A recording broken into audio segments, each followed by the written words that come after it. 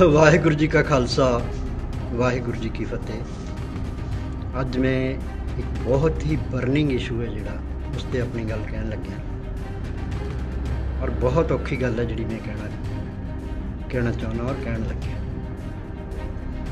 ਔਰ ਸਭ ਤੋਂ ਪਹਿਲਾਂ ਮੈਂ ਆਪਣੇ ਪਰਿਵਾਰ ਨੂੰ ਇੱਕ ਬੇਨਤੀ ਕਰਨੀ ਚਾਹਣਾ ਕਿ ਜਿਹੜੀ ਮੈਂ ਗੱਲ ਕਹਿਣਾ ਚਾਹੁੰਦਾ ਔਰ ਜਿਹੜੀ ਮੈਂ ਕਹਿਣ ਲੱਗਿਆ, ਉਸ ਤੋਂ ਬਾਅਦ ਜਿਸ ਤਰ੍ਹਾਂ ਦੀਆਂ ਮੈਨੂੰ ਗਾਲਾਂ ਕੱਢਣੀਆਂ, ਜਿਸ ਤਰ੍ਹਾਂ ਮੇਰੇ ਖਿਲਾਫ ਮੰਦੀ ਭਾਸ਼ਾ ਬੋਲਣੀ ਹੈ ਜੋ ਕੁਝ ਵੀ ਉਹਨਾਂ ਤੋਂ ਸਰਿਆ ਉਹਨਾਂ ਨੇ ਮੇਰੇ ਨਾਲ ਕਰਨਾ।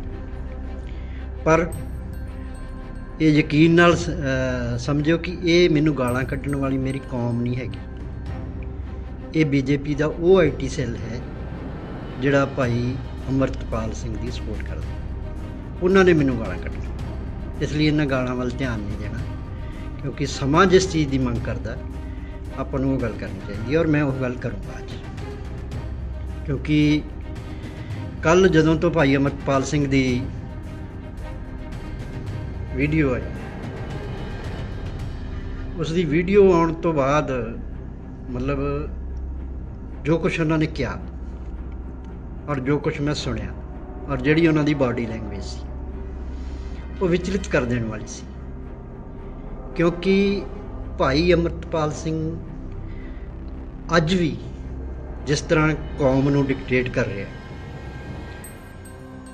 ਉਸ ਦੀ ਹਿੰਮਤ ਦੀ ਤਾਂ ਦਾਤ ਦੇਣੀ ਬਣਦੀ ਹੈ ਕਿਉਂਕਿ ਜਿਹੜਾ ਬੰਦਾ ਇੰਨਾ ਕੁਝ ਕਰਵਾ ਕੇ, ਸਾਰੀ ਕੌਮ ਦੇ ਮੱਥੇ ਤੇ ਅੱਤਵਾਦ ਦਾ ਲੇਬਲ ਲਵਾ ਕੇ, ਸਾਰੀ ਕੌਮ ਨੂੰ ਸੜਕਾਂ ਤੇ ਕਟਾ ਕੇ ਡਾਂਗਾਂ ਨਾਲ ਔਰ ਉਹਨਾਂ ਦੇ ਮੁਕੱਦਮੇ ਬਣਵਾ ਕੇ ਔਰ ਆਪ ਪੁਲਿਸ ਦੀ ਗੱਡੀ ਚੋਂ ਇੰਨੇ ਵੱਡੇ ਘੇਰੇ ਚੋਂ ਖਿ- ਖਿਸਕ ਜਾਵੇ।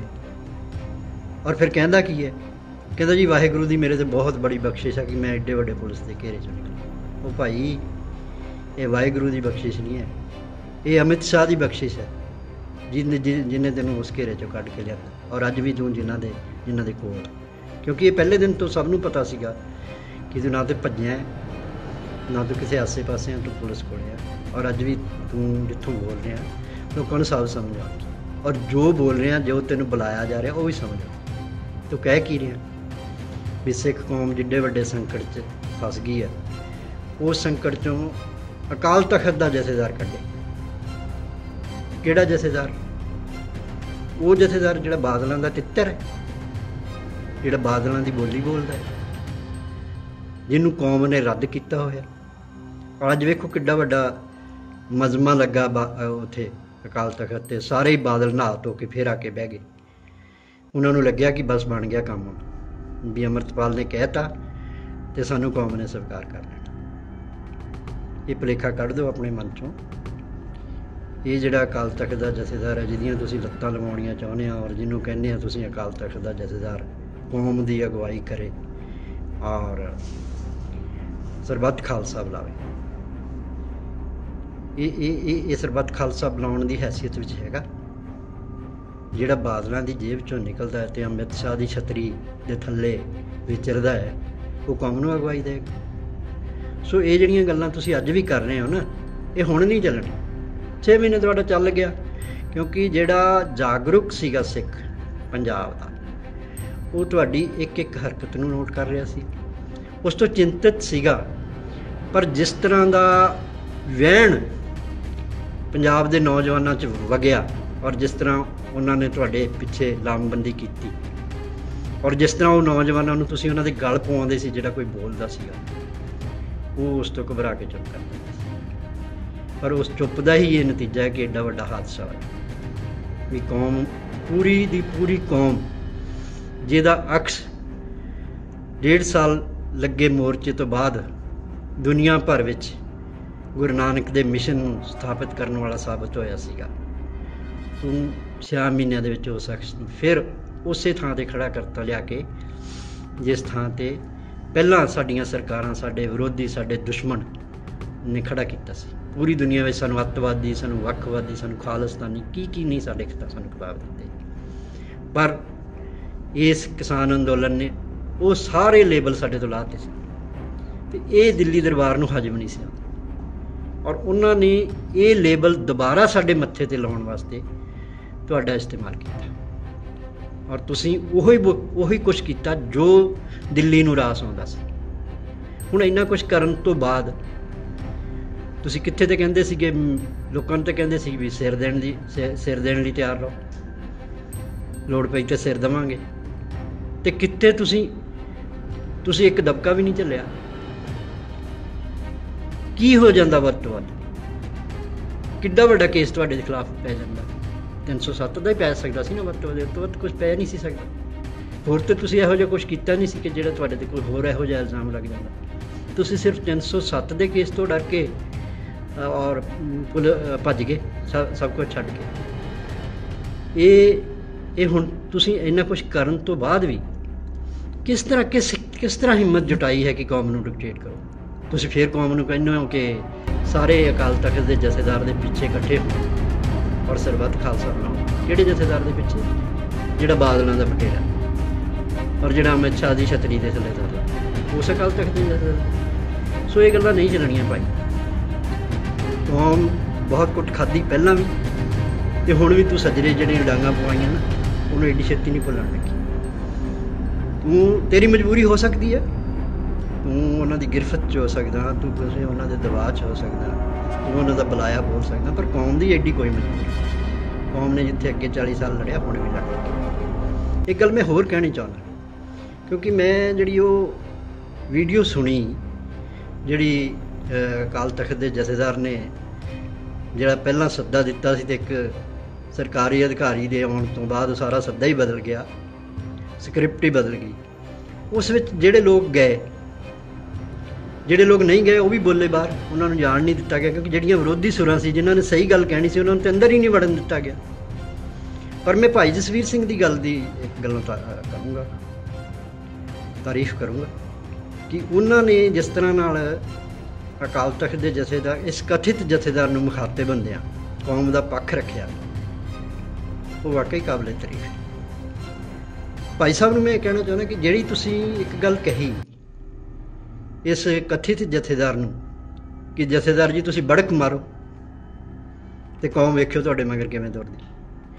ਜੇ ਇਸ ਨਕਲੀ ਜਥੇਦਾਰ ਦੀ ਬੜਕ ਮਾਰਿਆ, ਕੌਮ ਇਹਦੇ ਮਗਰ ਤੁਰ ਪੂਗੀ ਔਰ ਬਾਦਲਾਂ ਦੇ ਸਾਰੇ ਗੁਨਾਹ ਮਾਫ ਕਰਕੇ ਇਹਦੇ ਪਿੱਛੇ ਲੱਗ ਕੇ ਬਾਦਲਾਂ ਨੂੰ ਫਿਰ ਸੁਰਜੀਤ ਕਰ ਦੂਗੀ ਤੇ ਉਹ ਕੌਮ ਫਿਰ ਤੁਹਾਡੇ ਗੁਨਾਹ ਵੀ ਮਾਫ ਕਰ ਦੂਗੀ ਤੁਸੀਂ ਤੇ ਇਹ- ਬਾਦਲਾਂ ਨੂੰ ਵੱਡੇ ਗੁਨਾਹ ਤੇ ਨਹੀਂ ਨਾ ਕੀਤੇ। ਤੇ ਫਿਰ ਤੁਸੀਂ ਕਿਉਂ ਨਹੀਂ ਬੜਕ ਮਾਰਦੇ? ਤੁਸੀਂ ਮਾਰੋ ਬੜਕ। ਤੁਹਾਡੇ ਪਿੱਛੇ ਤਾਂ ਇੱਕ ਬਹੁਤ ਵੱਡਾ ਇਤਿਹਾਸ ਹੈ ਪਰਿਵਾਰ ਦਾ, ਸੰਘਰਸ਼ ਦਾ ਇਤਿਹਾਸ ਹੈ। ਔਰ ਉਹ ਜਿੱਤੋਂ ਤੁਸੀਂ ਬੜਕ ਮੜਵਾਉਣਾ ਚਾਹੁੰਦੇ ਹੋ, ਉਹਦੇ ਪਿੱਛੇ ਕੀ ਹੈ? ਸਵਾਏ ਬਾਦਲਾਂ ਦੀ ਗੋਲਾਗੇਰੀ ਤੋਂ, ਸਵਾਏ ਅਮਿਤ ਸ਼ਾਹ ਦੀ ਝੰਡੇ ਥੱਲੇ ਤੁਰਨ ਤੋਂ। ਤੁਸੀਂ ਉਹਦੇ ਤੋਂ ਕਿਉਂ ਬੜਕ ਮਰਵਾਉਣਾ ਚਾਹੁੰਦੇ ਤੁਸੀਂ ਮਾਰੋ ਬੜਕ ਫਿਰ। ਤੇ ਹੋ ਸਕਦਾ ਹੈ ਕਿ ਕੌਮ ਤੁਹਾਨੂੰ ਮਾਫ ਕਰ ਦੇਵੇ, ਫਿਰ ਤੁਹਾਡੇ ਨਾਲ ਖੜੀ ਹੋ ਜਾਵੇ ਕੌਮ। ਸੋ ਇਹ ਸਾਰੀਆਂ ਗੱਲਾਂ ਜਿਹੜੀਆਂ ਨੇ ਨਾ, ਇਹ ਅੱਜ ਇਸ ਕਰਕੇ ਕਰਨੀਆਂ ਬਣਦੀਆਂ ਕਿ ਕੌਮ ਨੂੰ ਜਿਸ ਵਿਪਤਾ ਦੇ ਮੂੰਹ ਦੇ ਦਿੱਤਾ ਗਿਆ ਸਾਰੀ ਕੌਮ ਨੂੰ ਜਿਸ ਤਰ੍ਹਾਂ ਸੜਕਾਂ ਤੇ ਕਟਾਇਆ ਗਿਆ, ਜਿਸ ਤਰ੍ਹਾਂ ਉਹਨਾਂ ਦੇ ਖਿਲਾਫ ਮੁਕੱਦਮੇਬਾਜ਼ੀਆਂ ਕਰਵਾਈਆਂ ਗਈਆਂ ਔਰ ਜਿਸ ਤਰ੍ਹਾਂ ਨਾਲ ਉਹਨਾਂ ਨੂੰ ਜਲੀਲ ਕਰਵਾਇਆ ਗਿਆ। ਔਰ ਉਸ ਤੋਂ ਬਾਅਦ ਵੇਖੋ ਕਹਾਣੀ ਕਿਵੇਂ ਮੋੜਾ ਕੱਟਦੀ। ਵੀ ਜੇ ਅਕਾਲ ਤਖਤ ਦੇ ਕਹਿਣ ਤੇ ਸਾਰੇ ਹੀ ਮੁਕੱਦਮੇ ਵਾਪਸ ਹੋ ਜਾਣੇ ਆ, ਸਾਰਿਆਂ ਨੇ ਘਰਾਂ ਵਾਪਸ ਆ ਜਾਣਾ ਸਰਕਾਰਾਂ ਅਕਾਲ ਤਖਤ ਦੇ ਜਥੇਦਾਰ ਦੇ ਕਹਿਣ ਤੇ ਸਭ ਕੁਝ ਹੀ ਕਰ ਦਿੰਦੀਆਂ ਨੇ। ਤੇ ਫਿਰ ਇੰਨੀ ਚਿਰਾਂ ਦੇ ਜਿਹੜੇ ਬੰਦੀ ਸਿੱਖ ਆ, ਉਹ ਉਹ ਉਹਨਾਂ ਨੂੰ ਜਥੇਦਾਰ ਨੇ ਕਿਉਂ ਨਹੀਂ ਰਿਹਾ ਕਰਵਾਇਆ? ਸਰਕਾਰ ਨੂੰ ਕਹਿ ਕੇ। ਉਹਨਾਂ ਦਾ ਕੀ ਕਸੂਰ ਆ? ਉਹ ਤਾਂ ਸਜ਼ਾਵਾਂ ਭੁਗਤ ਚੁੱਕੇ ਨਾ। ਜੇ ਸਾਡੇ ਅਕਾਲ ਤਖਤ ਦੇ ਜਥੇਦਾਰ ਦੇ ਕਹਿਣ ਤੇ ਕੇਂਦਰ ਦੀ ਸਰਕਾਰ ਸਾਰੇ ਕਾਲੇ ਕਾਨੂੰਨ ਵੀ ਵਾਪਸ ਲੈ ਲੈਂਦੀ ਆ, ਸਾਰੇ ਜਿਹੜੇ ਫੜੇ ਹੋਏ ਸਿੱਖ ਆ ਬੇਗਨਾ ਉਹਨਾਂ ਨੂੰ ਵੀ ਛੱਡ ਦਿੰਦੀ ਆ ਔਰ ਜਿਹੜੇ ਜਿਹੜੇ ਬਾਕੀ ਦੇ ਬੱਚੇ ਆ, ਉਹਨਾਂ ਬਾਰੇ ਵੀ ਉਹ ਕਹਿੰਦੇ ਅਸੀਂ ਵਿਚਾਰ ਕਰਾਂਗੇ, ਉਹਨਾਂ ਤੋਂ ਵੀ ਮੁਕੱਦਮੇ ਵਾਪਸ ਲਏ ਜਾ ਸਕਦੇ ਆ। ਤੇ ਫਿਰ ਬੰਦੀ ਸਿੰਘਾਂ ਦੇ ਮਾਮਲੇ 'ਚ ਸਰਕਾਰ ਨੂੰ ਜਥੇਦਾਰ ਨੇ ਇਹ ਕਿਉਂ ਨਹੀਂ ਕਹਿੰਦਾ ਵੀ ਉਹਨਾਂ ਦੇ ਵੀ ਮਾਮਲੇ ਵਾਪਸ ਕਰਾਓ? ਇਹਦਾ ਮਤਲਬ ਇਹ ਹੈ ਕਿ ਜਿਹੜੀ ਗੱਲ ਦਿੱਲੀ ਦਰਬਾਰ ਨੂੰ ਰਾਸ ਆਉਂਦੀ ਹੈ, ਉਹ ਤੇ ਗੱਲ ਦਿੱਲੀ ਦਰਬਾਰ ਮੰਨਦੀ ਆ ਔਰ ਉਹਦਾ ਕ੍ਰੈਡਿਟ ਆਪਣੇ ਇਸ ਤੋਤੇ ਨੂੰ ਦੇਣਾ ਚਾਹੁੰਦੀ ਹੈ, ਜਥੇਦਾਰ ਸੋ ਐਵੇਂ ਨਹੀਂ ਹੋਣਾ। ਫਿਰ ਦੂਜੀ ਗੱਲ ਮੈਂ ਆਪਣੀ ਕੌਮ ਨੂੰ ਕਹਿਣਾ ਚਾਹਣਾ ਵੀ ਜੇ ਤੁਹਾਨੂੰ ਸੱਚਮੁੱਚ ਹੀ ਲੱਗਦਾ ਵੀ ਤੁਸੀਂ ਇੰਨੇ ਹੀ ਨਿਸਲ ਹੋ ਗਏ ਹੋ, ਵੀ ਤੁਹਾਨੂੰ ਲੱਗਦਾ ਕਿ ਅਸੀਂ ਦਿੱਲੀ ਨਾਲ ਨਹੀਂ ਟਕਰਾ ਸਕਦੇ, ਅਮਿਤ ਸ਼ਾਹ ਦਾ ਮੁਕਾਬਲਾ ਅਸੀਂ ਨਹੀਂ ਕਰ ਸਕਦੇ, ਮੋਦੀ ਦਾ ਮੁਕਾਬਲਾ ਅਸੀਂ ਨਹੀਂ ਕਰ ਸਕਦੇ, ਤੇ ਫਿਰ ਗੋਲਿਆਂ ਦੇ ਗੋਲੇ ਬਣਨ ਦੀ ਕੀ ਲੋੜ ਆ? ਬੀਜੇਪੀ ਜੁਆਇਨ ਕਰ ਲਓ ਫਿਰ। ਉਹਨਾਂ ਨੂੰ ਕਹੋ ਵੀ ਅਸੀਂ ਬਾਦਲ ਵੀ ਵੇਖ ਲਏ, ਕਾਂਗਰਸ ਵੀ ਵੇਖ ਲਈ ਆ ਨਵੇਂ ਲਿਆਂਦੇ ਸੀ ਜਿਹੜੇ ਇਹ ਵੀ ਵੇਖ ਲਏ, ਤੇ ਆਓ ਅਸੀਂ ਇੱਕ ਵਾਰੀ ਤੁਹਾਨੂੰ ਵੀ ਵੇਖ ਲੈਂਦੇ। ਫਿਰ ਉਹਨਾਂ ਨੂੰ ਵੀ ਵੇਖ ਲਓ। ਜੇ ਤੁਸੀਂ ਸਿੱਧੇ ਤੌਰ ਤੇ ਬੀਜੇਪੀ ਨੂੰ ਇੱਕ ਮੌਕਾ ਦੇ ਕੇ ਉਹਨੂੰ ਕਹਿੰਦੇ ਵੀ ਆਓ ਅਸੀਂ ਤੁਹਾਨੂੰ ਵੀ ਇੱਕ ਮੌਕਾ ਦਿੰਨੇ ਆ ਤੇ ਕਮ ਸੇ ਕਮ ਬੀਜੇਪੀ ਦੀ ਜਵਾਬਦੇਹੀ ਤੇ ਬਣੂਗੀ ਨਾ, ਤੁਹਾਡੇ ਤੁਹਾਡੇ ਮਸਲਿਆਂ ਤੇ ਬੀਜੇਪੀ ਬੋਲੂਗੀ ਤੇ ਸਹੀ ਨਾ? ਪੰਜਾਬ ਦੇ ਮੁੱਦਿਆਂ ਤੇ ਬੀਜੇਪੀ ਜਵਾਬ ਤਾਂ ਦਊਗੀ ਨਾ? ਹੁਣ ਜਵਾਬ ਦੇਣ ਲਈ ਤੇ ਅੱਗੇ ਬਾਦਲ। ਤੇ ਉਹਦਾ ਫਾਇਦਾ ਚੁੱਕਣ ਲਈ ਬੀਜੇਪੀ ਇਹ ਸਾਰੀਆਂ ਚੀਜ਼ਾਂ ਜਿਹੜੀਆਂ ਸਾਨੂੰ ਸਮਝਣੀਆਂ ਪੈਣਗੀਆਂ। ਤਾਂ ਅਸੀਂ ਇਸ ਕ੍ਰਾਈਸਿਸ ਚੋਂ ਨਿਕਲ ਸਕਣਾ। ਨਹੀਂ ਤੇ ਰੋਜ਼ ਕੋਈ ਨਾ ਕੋਈ ਅਮਰਤਪਾਲ ਆਉਂਦਾ ਰਹੂਗਾ। ਇਹ ਵੈਕਿਊਮ ਐਵੇਂ ਬਣਾ ਬਣਿਆ ਰਹੂਗਾ। ਔਰ ਬੀਜੇਪੀ ਉਹੀ ਖੇਡ ਖੇਡਦੀ ਰਹੂਗੀ ਜਿਹੜੀ ਅੱਗੇ ਪਹਿਲਾਂ ਕਾਂਗਰਸ ਨੇ ਖੇਡੀ ਔਰ ਫਿਰ ਹੁਣ ਲੰਮੇ ਸਮੇਂ ਤੋਂ ਬੀਜੇਪੀ ਖੇਡ ਰਹੀ। ਹੈ ਬੀਜੇਪੀ ਦੀ ਪੂਰੀ ਕੋਸ਼ਿਸ਼ ਹੈ, ਕਿਉਂਕਿ ਉਹਨਾਂ ਨੂੰ ਇੰਜ ਲੱਗਦਾ ਹੈ ਕਿ ਸਾਡੇ ਪੈਰ ਬਾਦਲਾਂ ਤੋਂ ਬਗੈਰ ਨਹੀਂ ਲੱਗਣੇ ਪੰਜਾਬ 'ਚ। ਉਹ ਬਾਦਲਾਂ ਨੂੰ ਦੁਬਾਰਾ ਰਿਵਾਈਵ ਕਰਵਾਉਣਾ ਚਾਹੁੰਦੀ ਹੁਣ ਤੁਸੀਂ ਕੱਲ ਦਾ ਸਾਰਾ ਵੇਖੋ ਐਪੀਸੋਡ ਵੇਖੋ ਕੱਲ ਪੀਟੀਸੀ ਨਿਊਜ਼ ਤੇ ਜਿਸ ਤਰ੍ਹਾਂ ਨਾਲ ਅਮਰਤਪਾਲ ਨੂੰ ਪ੍ਰੋਜੈਕਟ ਕੀਤਾ ਗਿਆ। ਔਰ ਉਸ ਤੋਂ ਪਹਿਲਾਂ ਦੇ ਤੁਸੀਂ ਇਹਨਾਂ ਦੇ ਬਿਆਨ ਵੇਖ ਲਓ। ਸੁਖਵੀਰ ਬਾਦਲ ਦੇ ਬਿਆਨ ਵੇਖ ਲਓ, ਤੁਸੀਂ ਮਜੀਠੀਏ ਦੇ ਬਿਆਨ ਵੇਖ ਲਓ, ਜਿਹੜਾ ਕਹਿੰਦਾ ਸੀ ਸਾਨੂੰ ਸਾਨੂੰ ਦਸਾਂ ਦਿਨਾਂ ਚ ਅਸੀਂ ਗੱਜ ਵਰਗਾ ਕਰ ਦਾਂਗੇ। ਤੇ ਉਹਨਾਂ ਲਈ ਹੁਣ ਭਾਈ ਅਮਰਤਪਾਲ ਹੋ ਗਿਆ ਔਰ ਉਹਨਾਂ ਲਈ ਉਹ ਕੌਮ ਦਾ ਵੱਡਾ ਜਥੇਦਾਰ ਜਰਨੈਲ ਹੋ ਗਿਆ। ਸੋ ਇਸ ਤਰ੍ਹਾਂ ਅੱਖੀਂ ਘੱਟਾ ਨਾ ਪਾਓ ਭਾਈ, ਐਵੇਂ ਅੱਖੀਂ ਘੱਟਾ ਪੈਣਾ ਨਹੀਂ।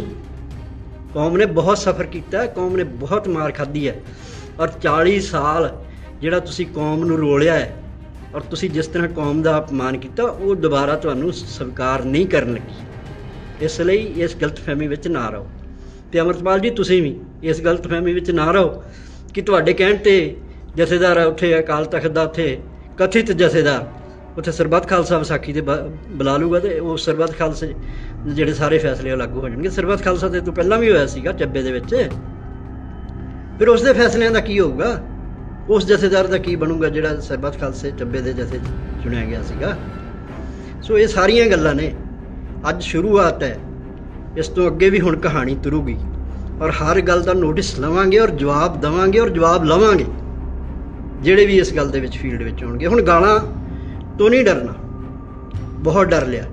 ਕਿਉਂਕਿ ਇੱਕ ਤਾਂ ਮੇਰੇ ਤੇ ਬਹੁਤ ਦਬਾਅ ਰਿਹਾ। ਨਵਰੀਤ ਦੀ ਸ਼ਹਾਦਤ ਤੋਂ ਬਾਅਦ ਜਿਸ ਤਰ੍ਹਾਂ ਦਾ ਕੌਮ ਨੇ ਮਾਣ ਦਿੱਤਾ, ਜਿਸ ਤਰ੍ਹਾਂ ਦਾ ਸਤਿਕਾਰ ਦਿੱਤਾ ਔਰ ਨੌਜਵਾਨਾਂ ਨੇ ਖਾਸ ਕਰਕੇ। ਉਹ ਲਗਾਤਾਰ ਮੇਰੇ ਤੇ ਦਬਾਅ ਬਣਾਈ ਜਾਂਦੇ ਸੀ ਕਿ ਬਾਪੂ ਜੀ, ਤੁਸੀਂ ਨਹੀਂ ਕੁਝ ਬੋਲਣਾ, ਬਾਪੂ ਜੀ, ਤੁਸੀਂ ਨਹੀਂ ਕੁਝ ਬੋਲਣਾ। ਜਦ ਕਿ ਮੈਂ ਆਪਣੀ ਗੱਲਬਾਤ ਦੇ ਵਿੱਚ ਜਦੋਂ ਵੀ ਮੇਰੇ ਨਾਲ ਜਿੰਨੇ ਵੀ ਗੱਲ ਕੀਤੀ, ਮੈਂ ਉਹਨਾਂ ਨੂੰ ਦੱਸ ਰਿਹਾ ਸੀ ਵਾਰ-ਵਾਰ ਵੀ ਅਮਰਤਪਾਲ ਦਾ ਵਰਤਾਰਾ ਜਿਹੜਾ, ਉਹ ਜਿਹੜਾ ਤੁਹਾਨੂੰ ਜ਼ਮੀਨ ਤੇ ਦਿਸਦਾ, ਉਹ ਉਵੇਂ ਨਹੀਂ ਹੈਗਾ। ਉਹ ਇੱਕ ਸਕ੍ਰਿਪਟਡ ਚੀਜ਼ ਹੈ। ਔਰ ਕਿੱਥੋਂ ਉਹ ਤੁਰਿਆ, ਉਹਦੀਆਂ ਪੈੜਾਂ ਜਿੱਥੋਂ ਤੁਰਦੀਆਂ ਦੁਬਈ ਚੋਂ। ਔਰ ਆਣ ਕੇ ਜਿਹੜੇ ਘਰਾਂ ਵਿੱਚ ਵੜਦੀਆਂ, ਉਹਨਾਂ ਬਾਰੇ ਉਹਨਾਂ ਦੇ ਨਾਲ 40 ਸਾਲ ਹੋ ਗਏ ਸਾਨੂੰ ਤੁਰਿਆ ਫਿਰਦੇ ਆ ਤੇ 40 ਸਾਲਾਂ ਦੇ ਵਿੱਚ ਵੀ ਜੇ ਸਾਨੂੰ ਸਮਝ ਨਹੀਂ ਆਉਂਦੀ ਵੀ ਜਿਹੜੀਆਂ ਪੈੜਾਂ ਦੁਬਈ ਚੋਂ, ਜਿਹੜਿਆਂ ਘਰਾਂ ਚੋਂ ਤੁਰਦੀਆਂ ਤੇ ਆਣ ਕੇ ਪੰਜਾਬ ਦੇ ਵਿੱਚ ਜਿਹੜਿਆਂ ਘਰਾਂ ਦੇ ਵਿੱਚ ਉਹ ਵੜਦੀਆਂ, ਉਹ ਘਰ ਕੌਣ ਨੇ ਤੇ ਉਹ ਲੋਕ ਕੌਣ ਨੇ, ਤੇ ਫਿਰ ਸਾਨੂੰ ਸਮਝ ਕਦੋਂ ਆਏਗੀ? ਇਸ ਲਈ ਮੇਰੀ ਬੇਨਤੀ ਹੈ ਕਿ ਇਹ ਇਹ ਇਹ ਜਿਹੜੀ ਕੌੜੀ ਸੱਚਾਈ ਹੈ, ਕੌਮ ਨੂੰ ਸਮਝਣੀ ਪੈਗੀ। ਅਸੀਂ ਬਹੁਤ ਮਾਰ ਖਾ ਲਈ ਹੈ। ਅਸੀਂ ਪਹਿਲਾਂ ਬਹੁਤ ਕੁਝ ਹੰਡਾ ਲਿਆ ਆਪਣੇ ਪਿੰਡੇ ਤੇ। ਅਸੀਂ ਨਸਲਕੁਸ਼ੀ ਨੇ ਹੰਡਾਈਆਂ। ਆ ਜਿਹੜੀ ਨਸ਼ੇ ਦੀ ਜਿਹੜੀ ਅਸੀਂ ਨਸਲ ਕੁਸ਼ੀ ਹੰਡਾ ਲਿਆ, ਹੰਡਾ ਰਹੇ ਨਾ, ਇਹ ਸਾਡੇ ਸੰਘਰਸ਼ ਦਾ ਹੀ ਹਿੱਸਾ ਹੈ। ਇਹ ਸਾਡੇ ਸੰਘਰਸ਼ ਚੋਂ ਇਹ ਸਾਡੇ ਸੰਘਰਸ਼ ਦੇ ਵਿੱਚੋਂ ਨਿਕਲੀ ਸਾਡੀ ਨਸਲ ਨਸਲ ਆ, ਨਸ਼ੇ ਵਾਲੀ। ਅਸੀਂ ਬਹੁਤ ਪਲੇਟਫਾਰਮਾਂ ਤੇ ਇਹਨਾਂ ਇਹਨਾਂ ਦੇ ਸਾਹਮਣੇ ਖੜੇ ਹੋਣਾ, ਤੇ ਮੇਰੀ ਪੰਜਾਬ ਦੇ ਬੁੱਧੀਜੀਵੀ ਵਰਗ ਨੂੰ ਤੇ ਰਾਜਨੀਤਿਕ ਲੋਕਾਂ ਨੂੰ, ਜਿਹੜੇ ਹੁਣ ਸੁੰਨ ਹੋਏ ਬੈਠੇ ਸੁਸਰੀਆਂ ਬੋਲਦੇ ਨਹੀਂ ਕੁਝ ਤੇ ਐਵੇਂ ਚੁੱਪ ਰਿਆਂ ਕਿਵੇਂ ਗੁਜ਼ਾਰਾ ਹੋਊਗਾ? ਤੁਸੀਂ ਪੰਜਾਬ ਦੇ ਇਸ ਔਖੇ ਸਮੇਂ ਤੇ ਕੋਈ ਸਟੈਂਡ ਨਹੀਂ ਲੈਂਦੇ, ਕੋਈ ਕੋਈ ਗੱਲ ਨਹੀਂ ਕਰਦੇ, ਤੇ ਫਿਰ ਤੁਹਾਡੀ ਲੀਡਰੀ ਕਿੱਥੇ ਹੈ ਕੌਮ ਤੁਹਾਡੀ ਲੀਡਰੀ ਨੂੰ ਫਿਰ ਰਗੜ ਕੇ ਪੁਰਪੜੀਆਂ ਤੇ ਲਾਵੇ? ਤੁਸੀਂ ਕਦੋਂ ਬੋਲੋਗੇ? ਅੱਜ ਕੌਮ ਤੁਹਾਡੇ ਮੂੰਹ ਵੱਲ ਵੇਂਦੀ ਹੈ ਕੌਮ ਅਗਵਾਈ ਮੰਗਦੀ ਹੈ ਜਿਹੜੀ ਅਗਵਾਈ ਕੌਮ ਮੰਗਦੀ ਆ, ਉਹਦਾ ਵੈਕਿਊਮ ਦੇ ਵਿੱਚ ਅਮਰਤਪਾਲ ਸਿੰਘ ਤੁਹਾਨੂੰ ਫੇਰ ਬਾਦਲਾਂ ਦੇ ਪਿੱਛੇ ਲਾਉਣ ਨੂੰ ਫਿਰਦਾ। ਤੇ ਤੁਸੀਂ ਉਸ ਦਾ ਕੋਈ ਜਵਾਬ, ਕੋਈ ਤਾਂ ਜਵਾਬ ਦਿਓ। ਸੋ ਮੈਂ ਬਹੁਤੀਆਂ ਬੇਨਤੀਆਂ ਨਹੀਂ ਕਰਦਾ, ਜਿੰਨੀਆਂ ਹੀ ਮੇਰੀਆਂ ਬੇਨਤੀਆਂ ਪ੍ਰਵਾਨ ਕਰਿਓ, ਕਿਉਂਕਿ ਅੱਜ ਇਹ ਸ਼ੁਰੂ ਆ ਤਾਂ ਮੈਨੂੰ ਪਤਾ ਹੈ ਜੰਗ ਜਿਹੜੀ ਹੈ, ਇਹ ਅੱਜ ਸ਼ੁਰੂ ਹੋਈ ਆ। ਇਸ ਨੇ ਅੱਗੇ ਜਾਣਾ ਹੈ ਔਰ ਇਸ ਨੂੰ ਲੜਨਾ ਹੈ। ਔਰ ਮੈਂ ਲੜੂੰਗਾ, ਮੈਂ ਮਨ ਬਣਾ ਕੇ ਅੱਜ ਬੋਲਿਆ ਕਿ ਮੈਂ ਇਸ ਝੂਠ ਨੂੰ, ਇਸ ਫਰੇਬ ਨੂੰ ਜਿਹੜਾ ਦਿੱਲੀ ਦੀਆਂ ਏਜੰਸੀਆਂ ਨੇ ਖੜਾ ਕੀਤਾ ਔਰ ਜਿਹੜਾ ਪੰਜਾਬ ਦੇ ਭਗਵੰਤ ਮਾਨ ਦੇ ਮੋਢੇ ਤੇ ਰੱਖ ਕੇ ਜਿਹੜੀ ਬੰਦੂਕ ਚਲਾਈ ਗਈ ਆ, ਮੈਂ ਇਹਨਾਂ ਦਾ ਇੱਕ ਇੱਕ ਦਾ ਪਾਜ ਖੋਲੂੰਗਾ ਔਰ ਪਰਦਾ ਨੰਗਾ ਕਰੂੰਗਾ। ਚਾਹੇ ਇਸ ਦੀ ਮੈਨੂੰ ਕਿੱਡੀ ਵੀ ਵੱਡੀ ਕੀਮਤ ਚੁਕਾਉਣੀ ਪਵੇ। ਇਹਨਾਂ ਹੀ ਲਫ਼ਜ਼ਾਂ ਨਾਲ ਦਾਸ ਖਿਮਾ ਦਾ ਜਾਜ ਕੇ ਵਾਹਿਗੁਰੂ ਜੀ ਕਾ ਖਾਲਸਾ, ਵਾਹਿਗੁਰੂ ਜੀ ਕੀ ਫਤਿਹ।